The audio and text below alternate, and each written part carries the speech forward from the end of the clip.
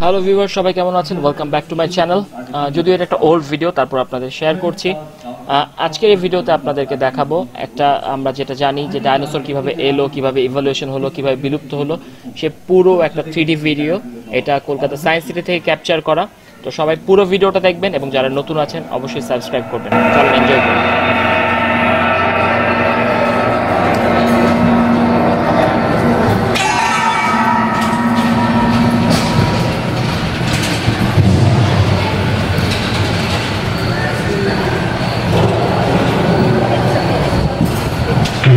407 करोड़ वर्ष पहले प्रचंड धूम के बवंडर से हमारे सौर जगत का जन्म हुआ। धीरे धीरे पृथ्वी शीतल होने लगी। बहुत सारे गैस बाहर निकलने लगे और पृथ्वी के चारों ओर वायुमंडल के रूप में छा गए। फिर इन गैसों ने बिजली की कड़क और बादलों की गरज से मिलकर एमाइनो एसिड का निर्माण किया। प्राय साढ़े तीन सौ करोड़ वर्ष पहले प्रथम एक कोशिकीय जीव की रचना हुई। लगभग 280 करोड़ वर्ष पहले स्टोमैटोलाइट ने प्रकाश संश्लेषण के द्वारा वायुमंडल में ऑक्सीजन को मुक्त किया। वायुमंडल में ऑक्सीजन के स्तर में निरंतर वृद्धि से 120 करोड़ वर्ष पहले एक से अधिक न्यूक्लियस वाले बहुकोशिकीय जीव का जन्म हुआ। इस क्रमिक विकास से ही प्लेटफॉर्म जेलीफिश, स्टारफिश नोटिलॉइड से सागर भर उठा। सागर के किनारे वाले अंचल में पौधे लहराने लगे। बहुत तेज़ी से विभिन्न प्रजातियों की कई मछलियाँ विकसित हुई। यहाँ जो विशाल मछली दिख रही है उसका नाम है डांक्लियोस्टस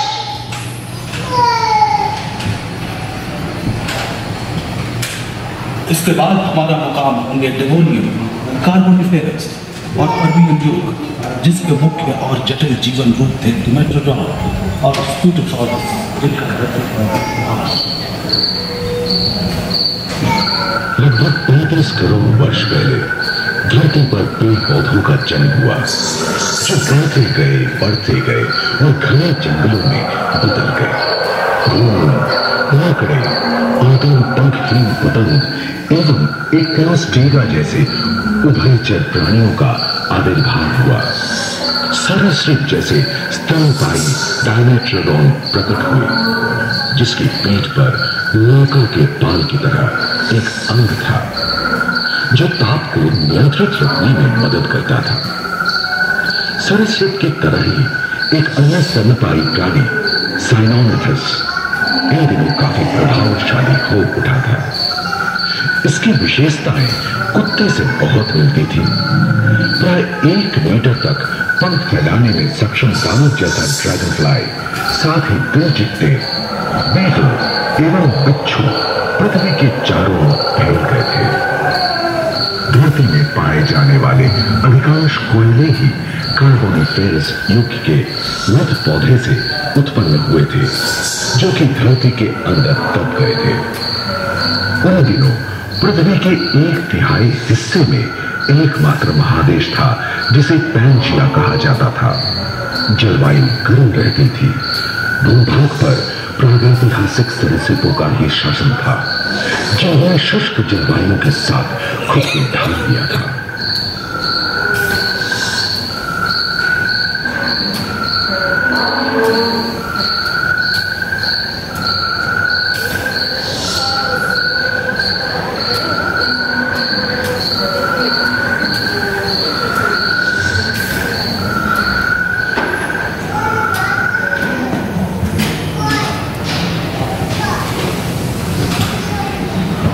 अब हम किस तरफ़ चलेंगे शायद चलेंगे डायनासोर्स की विशाल में देखेंगे विशाल सोलोफाइसिस डिप्लोडोकस ब्राइटोसॉरस वेलोसिरैप्टर जैसे जीवों को, जिनका राज था ट्रायसिक और जुरासिक की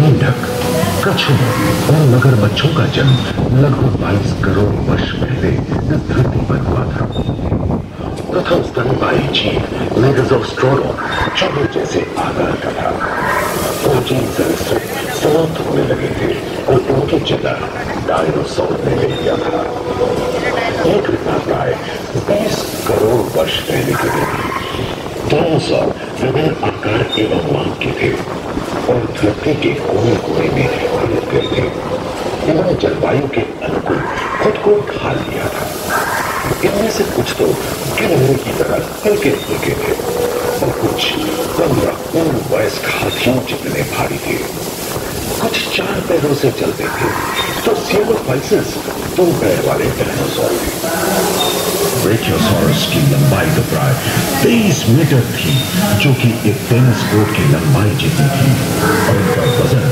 पचहत्तर टन था सरीसृप आकाश और सागर में भी छा गए थे डायनासोरस समुद्र में रहते थे सबसे प्राचीन उड़न सरीसृप यूडीमोर्फोडॉन हवा में उड़ते थे इन्हीं दिनों प्रथम पक्षी आर्कियोप्टेरॉक्स का उदय हुआ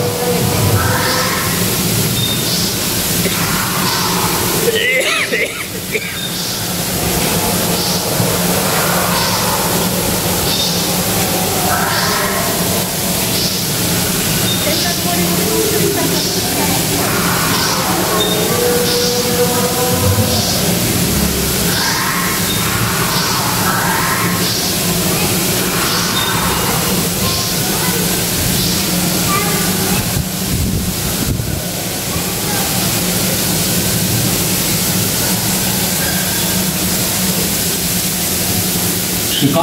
शिकार के बीच का संघर्ष जारी रहा जुरासिक युग में।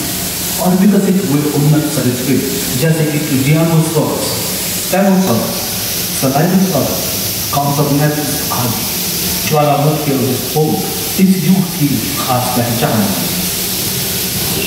है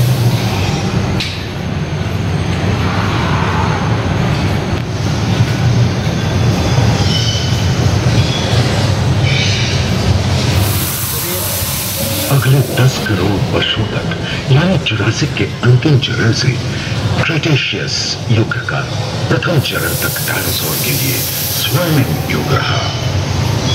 जलवायु में नमी की मौजूदगी से पृथ्वी पेड़ पौधों से भर उठी थी। पैंशिया महादेश खंडित होने के कारण भारत एशिया की ओर खिसकने लगा था। महादेशीय प्लेटों में हलचल होने से ज्वालामुखी के रूप में लावा निकलने लगी थी। इसके फलस्वरूप आए भूकंप से विभिन्न भौगोलिक आकार एवं आकृतियाँ निर्मित हुई। स्पाइनोसोरस की पीठ पर नौका के बाल की तरह एक अंग हुआ करता था, जिससे वो अपने शरीर के ताप को नियंत्रित करता था। वेलोसिराप्टर, गैलीमाइमस एवं ओवेलरैप्टर जैसे छोटे डायनासोर तो ओलंपिक के तेज धावकों की तरह दौड़ सकते थे। पैरासोरोलॉफस और कोरिथोसॉरस के सिर पर कलगी होती थी। करीबन पाँच मीटर लंबे पंख वाले टेरोनोडोन उड़ने एवं फिसलने में माहिर थे। सुनने में विचित्र लगे, पर अधिकांश डायनासोर जैसे कि ट्राइसेराप्टोस और एंकिलोसोरस शाकाहारी थे। लोरेसिया और गोंडवारा नाम के दो भूखंड महादेश में रूपांतरित हुए। एवं समुद्री गर्भ के कठोर आवरण से रॉकीज एवं अन्य पर्वत श्रेणियाँ निर्मित हुई। प्रदेश लोग विशाल मानव पक्षियों का योग जब इस ग्रह पर टायरानोसॉर अनाइटोसॉर ट्राइसाबिटा अल्कालियोसॉर कॉलिटोसॉर पैरासोरोलोफस का आधिपत्य था। कुछ हवा में उड़ जाते थे। आइए, हमें उड़ान पर ले चलेंगे। टिरानोसॉर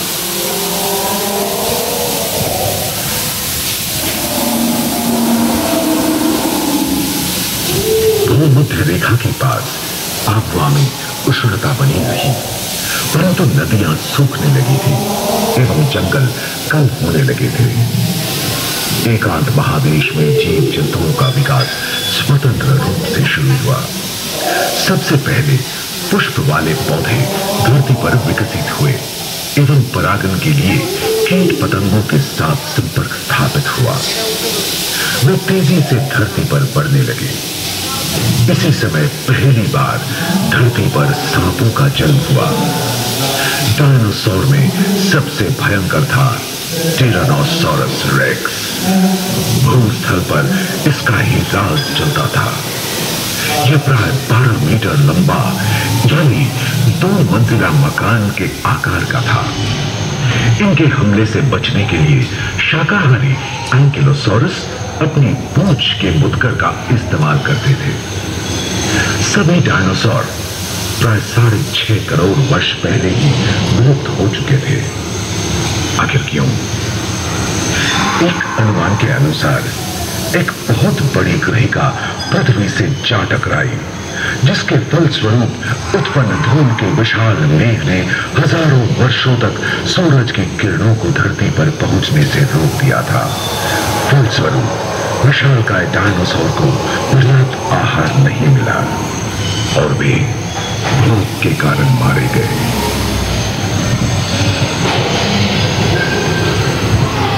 के मुश्किल मिजाज और उल्कापात के कारण खत्म हो गए पच्चीस करोड़ वर्षों तक पर जिनकी हुकूमत तृतीय कल्प में नए जीव रूप उभर कर था आइए देखें समय के साथ डाइटिन मोरिथेरियम यूटिंटेरियम डायनोथेरियम और एंजियोस्पर्म का कैसे विकास हुआ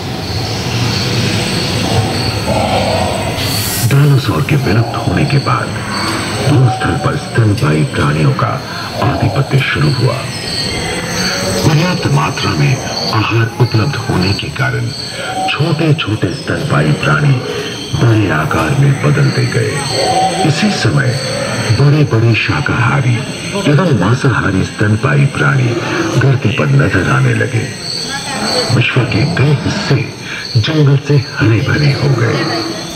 हाथी के पूर्वज डायनोथेरियम और घोड़े के पूर्वज यूहिपस की उत्पत्ति हुई, जो आज के हाथी और घोड़े में रूपांतरित हुए। लेमूर टर्सियर जैसे प्राइमेट भी इसी युग में पैदा हुए। खोखले अस्थियों वाली आज के दिनों के पक्षी इन्हीं दिनों जन्मे थे। ट्राइमा जैसे बड़े एवं उड़ने में अक्षम पक्षी उन जगहों में रहते थे जहाँ मांसाहारी बड़े स्तनपायी प्राणी नहीं मिलते थे। एक एवं बंदरों का जन्म लगभग एक करोड़ वर्ष पहले हुआ था। इस समय ही आदि मनुष्यों का भी आविर्भाव हुआ। जलवायु में शीतलता आने लगी थी एवं ध्रुवों पर बर्फ़ की चादरें बिछ गई थी।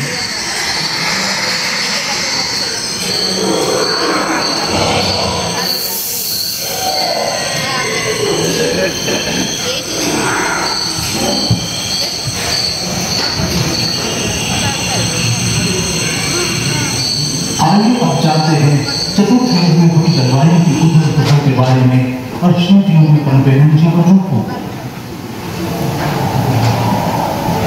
पृथ्वी के लंबे इतिहास में झांके तो ऐसे कई मौके रहे हैं, जब उत्तरी गोलार्ध के अधिकांश हिस्से बर्फ़ की चादरों से ढक गए थे, जो आइस एज के नाम से जाना जाता है।